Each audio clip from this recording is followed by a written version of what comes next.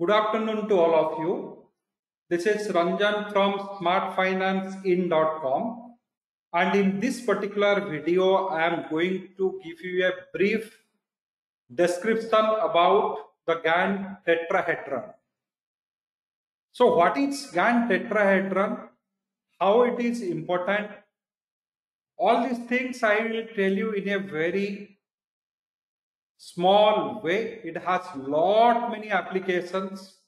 So here to start with, it is just a spiral arrangement of natural numbers in odd series. That means one row will have one number, then the second row will have three numbers, the third row will have five numbers. Like this way, this tetrahedron will be completed and normally, if you look at the tetrahedron, so right hand side, I have given you the image of a tetrahedron standing on top of a sphere. And this particular tetrahedron is having a base as a triangle and three sides also triangle. However, Gann tetrahedron is slightly different. This is a geometrical tetrahedron. The Gann tetrahedron is slightly different and it looks like this. It has one number here. Start with the natural number 1. Goes to 2, 3, 4. So 2, 3, 4 you are able to see here. Then again starts with 5. Goes to 9. So the first row is having one number. Then 3 numbers. Then 5 numbers. Then 7 numbers. All odd number of numbers it is there. And it continues like this. So this particular tetrahedron, why it is important that we have to understand then we will understand these numbers, how these numbers are important for us and all these things. So this is a odd number series arranged in a spiral manner. So now question comes, is a tetrahedron a pyramid? No. Tetrahedron is not a pyramid, it is a special pyramid. It is a pyramid of triangular base. Normal, the pyramids are having polygon as a base. However, this is a special pyramid having triangular base. So this is what the tetrahedron and a normal pyramid differs. What is the significance of these numbers 1, 3, 5, 7, 9, etc.? So these numbers are present in our body. So these numbers like Fibonacci ratio, these numbers very well present in our body. If you see, we have five fingers. So most of us having five fingers. Some people will be having slightly six or seven, that is different. But majority of the people will be having five fingers. Then we have nine gateways. Two nostrils for breathing, two eyes, two ears, one mouth. Then for excretions, we have two gateways. So nine gateways total we have in our body. So these five, nine are odd numbers. Now coming to the tetrahedron part. So the tetrahedron, what we are talking about, it is Gann tetrahedron. So here I am just taking one part of the tetrahedron in a two-dimensional space. So in this two-dimensional space, we are talking about a tetrahedron where the natural numbers are arranged.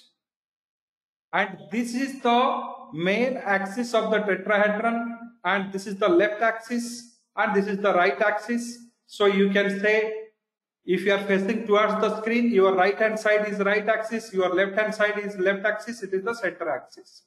So these are the axis of the particular tetrahedron. And if you, you can say that here the numbers are very important. So here 4, this is 9, again square, square of 3. This is square of 4, this is square of 5, square of 6, square of 7, square of 8. So 3, 4, 5, 6, 7, 8. Like this way you can say that all these numbers are the square numbers. It is square of one particular number. What is that square of particular number? You can see here 4.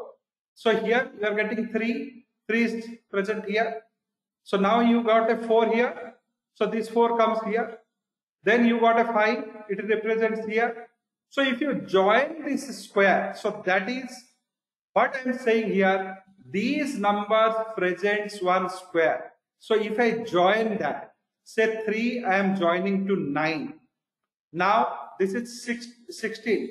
So this 4 I am joining to 16. Now this 5 is joined to 25. Then I have 6 which is joined to 36. So I'm just drawing in a hand drawing so it may be little ugly you will be looking like but this joins to 49. So by this process if you keep on joining these lines that will also give you a spiral arrangement. Very complex spiral arrangement you will get and this complex spiral arrangement will be a four dimensional picture of a neural network. So this is what you are going to get it from that. Now I will be doing little bit of number studies out of that. So I have taken left axis, right axis and center axis. So I am just going to do, this is the left axis numbers 1, 2, 5, 10 till 325. Here this is the center axis 137, 343 and here to right, right axis because this is the first number, this one, this one, this one. However, here we do not have anything. Here also we do not have anything. Starts with 1. So left, center, or middle and right. These numbers I have.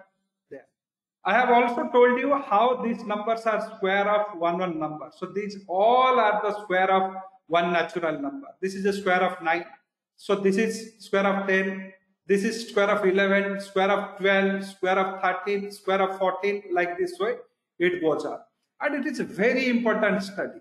So let us do some random analysis on that and see that how it reflects. So you can see that this is what the tetrahedron represents. However, if I just put these numbers and divide the left number with right number, so I am getting few numbers 0 0.9, 0 0.8 and all. If I just take the average of that number, average of these numbers, yeah, I'm getting 0.794 and if I just remove this, remove this part and take the average of till these things 0.782. 0.782 is again very close near to one of the Fibonacci ratio. Now similar way, left and middle number if I just take the ratio and take the average, it is 0.872. We have a Fibonacci ratio 0.888. Same way, middle and right, if I can make it, it is again saying that 0.891. So this is also representing one of the Fibonacci ratio. Left plus middle divided by right, if I make that, that is giving me 1.674. So all these things I am giving you a clue how related this average of these numbers with one Fibonacci ratio or related number to Fibonacci ratio. So here to also 2.470 and here to also one divisions I am making that is 0.718 all are related number to this. If I establish say angular relation between left and right number Majority cases I am getting 170 degrees. If I just leave few steps, then everything it is stabilizing at 170 to 175 degrees. So the left number and right number are related with 175 degree relationship. And this 175 degree relationship also is very, very vital as per the Gann study. So this speaks about every spiral in tetrahedron focusing towards a stability. The average of all these ratios focus towards the single Fibonacci ratio. So all these things say that it is a very complex figure and very important figure. And for that, one thing is common here, it always focus towards stability. So this ratio, once this is focusing towards stability, definitely it has specific meaning. So that you can get where to use this particular tetrahedron and how to get benefited from tetrahedron, you can get in the complete 40 hours Gann course. So it is a very interesting subject and very advanced concept of the Gann and this in future I am going to bring many new concepts associated with the tetrahedron which is going to change the entire scenario. So keep watching this video, share this video with your friends if you are a Gann lover and if you really want to learn the Gann stuff, do some experiments here. I have given you the clue how these particular ratios are related. You can find out if you have a right intent and interest. You can find out many such kind of Fibonacci ratio relationship or wave relationship out of this.